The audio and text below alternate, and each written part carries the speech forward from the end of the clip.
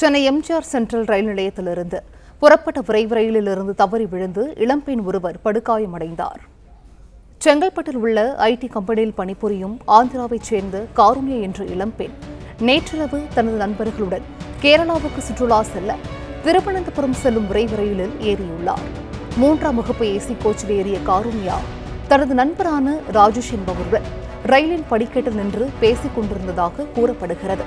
ரயில் புறப்பட்ட போது திடீரென காருண்யா நிலை தடுமாறி கீழே விழுந்தபோது அவரை காப்பாற்ற முயன்ற ராஜேஷும் கீழே விழுந்தார். நடைமேடையில் இருந்த பயணிகள் உடனடியாக ஓடி வந்து ராஜேஷை காப்பாற்றிய நிலையில் ரயிலுக்கும் நடைமேடைக்கும் இடையில் சிக்கிய காருண்யா சிறிது தூரம் இழுத்துச் செல்லப்பட்டார்.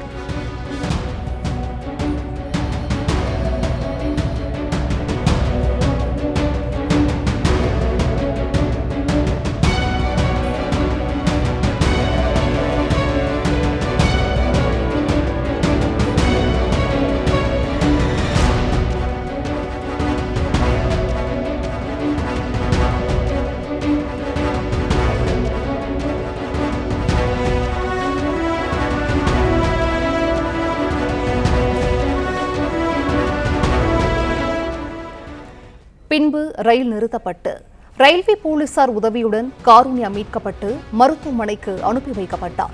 இந்த விபத்தில் காருண்யாவின் கால் மற்றும் இடுப்பில் எலும்பு முறிவு ஏற்பட்டது.